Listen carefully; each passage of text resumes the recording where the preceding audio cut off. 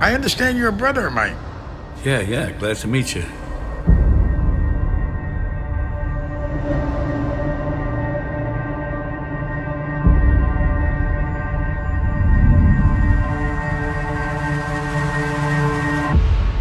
I heard you paint houses. Yes, I do.